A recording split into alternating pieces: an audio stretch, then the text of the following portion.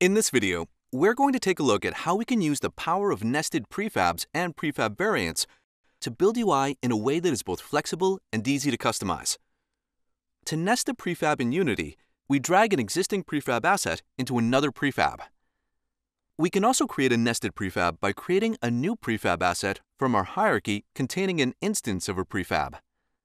Nested prefabs retain their links to their own prefab assets, while also forming part of another prefab asset. In this demo, we have a card UI prefab that we can drag onto our playing field. The card causes a unit to spawn. However, each of our card faces look the same. I'd like to make a number of different cards for the player to use. However, I'd like to make them all look very similar to this card, but with a different icon and a few other changes. We can achieve this using nested prefabs and prefab variants. As you can see here, each of our card data assets, which are scriptable objects, currently hold a reference to our card playable prefab.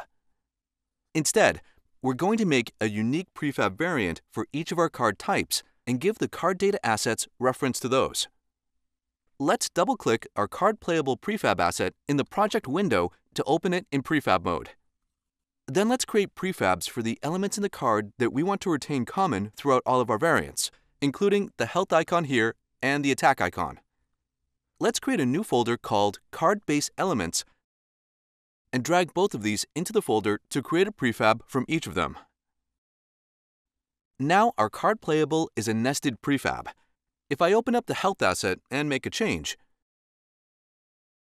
we can see those changes are reflected in our card playable asset. Now, let's create our additional cards as prefab variants using Card Playable as a base. In our project window, let's create a new folder called Card Variants. And then, let's right-click on our Card Playable asset and choose Create, Prefab Variant, and let's place that into our Variants folder. Now let's open up the prefab variant in prefab mode and let's set the portrait to our Archer's image. So we've now got a prefab variant that is based off of our card playable asset and using our nested health and attack icon prefabs. Prefab variants inherit the nested prefabs from their base prefab. This means that if we open up our health icon again and change the value here, you can see that it is updated across both our base card playable asset and our new Archer card variant. This is useful for making changes to multiple prefabs quickly let's continue to make our variants for each of our cards. I've now got four prefab variants for each of our cards, and each have been assigned to their own card data asset. As you can see, when I play the game, each of our cards now have their own cards with their own icons, but they're all sharing the same base prefab asset. If we make any changes to the base prefab asset, such as, for example, setting the frame to red. Then, when we save and play our game, we can see that all of our card variants are also updated. In the current variant I'm editing, I've moved the attack icon to the top of the card here, and I quite like how it looks. However, if I open any of the other prefab variants, my attack icon remains in its original position. This is because prefab variants will only reflect changes made to the base prefab they're inheriting from. So any changes made to our Archer variant here will not be reflected onto our other variants unless the changes are made to the card playable prefab instead. In our inspector, any properties that have been changed or components that have been added in our variant are known as prefab overrides. These are highlighted in the inspector with a blue line and a bold label, or shown with the plus icon on the component.